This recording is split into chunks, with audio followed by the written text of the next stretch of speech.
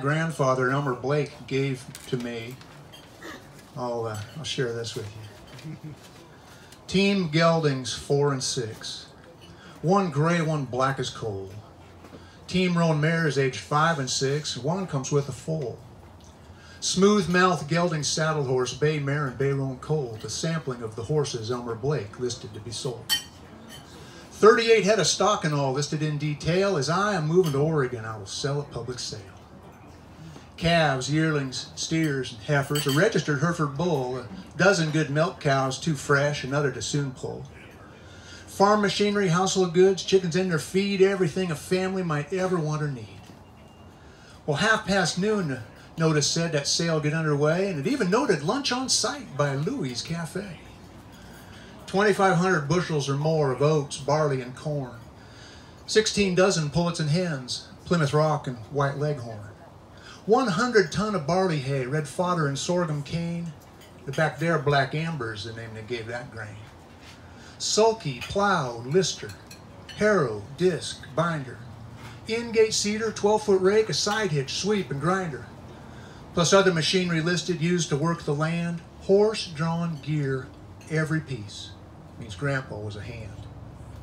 New three burner oil stove, the table from the kitchen with six chairs plus the high chair they used to put my mom in. Rocker, range, radio, dresser, sink, beds, dishes, milk pails, churn, everything you'd think. Waving on that list for sale was Grandpa's livestock brand. Now there's something I'd love to have seen or better have in hand. I'd keep it with the arrowheads he gathered on their land, left there by the Ponca, the Pawnee, and a Sioux Lakota band. Speaking of keepsakes and heirlooms from the day, I've got Grandpa's fiddle and bow, but I never heard him play.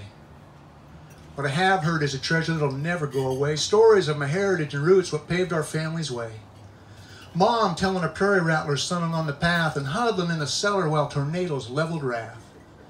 The hard work of farming and keeping up with chores and a month of Sundays sometimes between trips to the stores.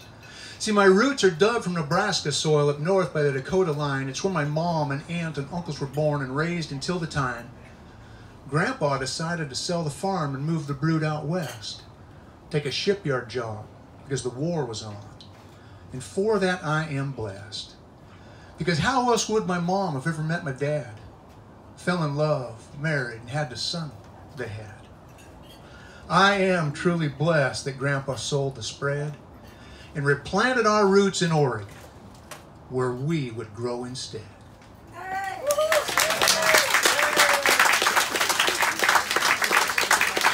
Oh, Cindy wants me to tell you what I already mentioned, which is the book is for sale here. So, yeah.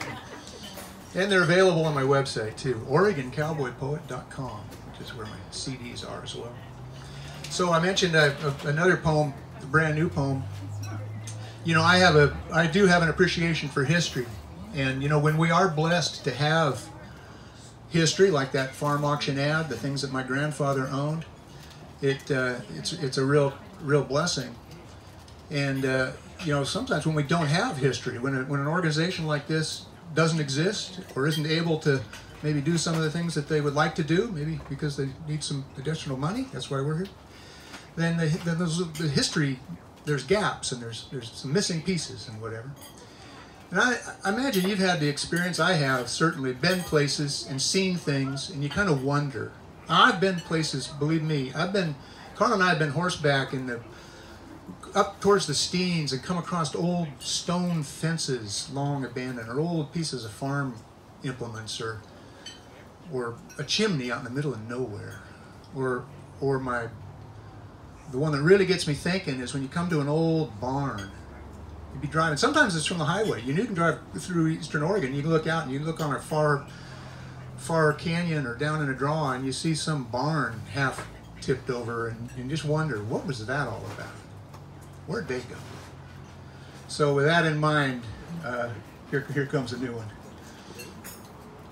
We have wandered into wonderful this weathered barn that barely stands, decades since last occupied, except by dust light strands. There is history in the rafters and old stories behind each nail. What I would give to hear one time the intimate detail of those who called this place a home The generations passing through, what brought them here, what lives they lived, sort fables from the true.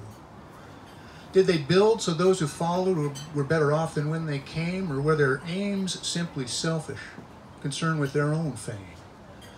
Were children raised to flourish, bound to, uh, inspired to follow their own muse, or hindered, bound to flounder, held back by narrow views? Did generations follow footsteps set in stone, or were they free to forge new paths for places then unknown? For me, I choose to think the best about those folks who left this land, how I hope that their departure not hastily unplanned, that prospects for something better had them set out for their dreams and leave behind this tangle of tilting walls and beams. The truth, of course, long buried deep in dust and splitting grain, floors sagging to the elements and gravitation strain. There's no one here to tell the tale, and I can't read between the lines. of timber's bent and weary as this old barn declines.